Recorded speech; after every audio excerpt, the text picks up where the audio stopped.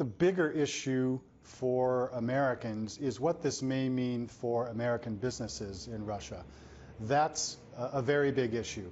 Another question is whether it's going to be conducive to eliciting a cooperative response in foreign affairs from the Russian government. I don't see how it's going to elicit that.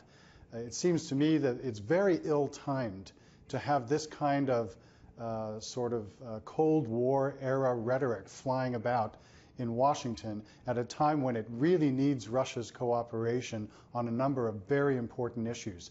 Uh, it seems to me what the U.S. ought to be doing is finding a way to cooperate with Russia on these issues rather than inviting it to have uh, some sort of a difficult relationship going forward.